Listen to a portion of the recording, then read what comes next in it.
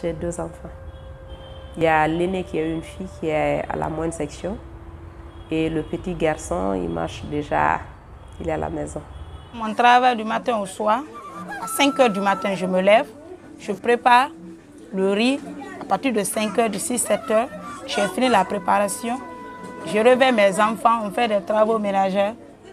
D'ici 7h30, je me présente à l'école. Je suis monitrice. Je quitte là-bas à 17h. Quand je rentre à 17h, je fais les petits commerces pour aider mon mari pour la scolarité des enfants.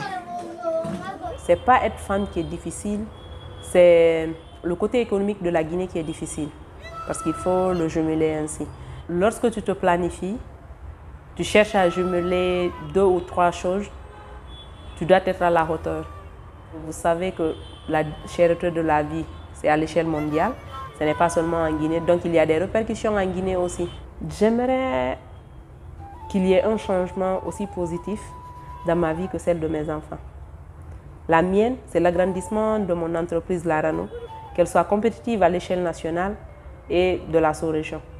Dans la vie de mes enfants, je voudrais un changement aussi positif, c'est-à-dire qu'ils soient entrepreneurs dès le plus jeune âge au lieu qu'ils ne soient des salariés.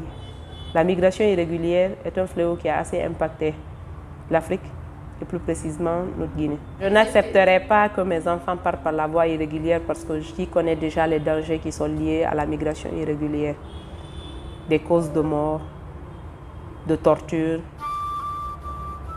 d'accès difficile à la vie aisée.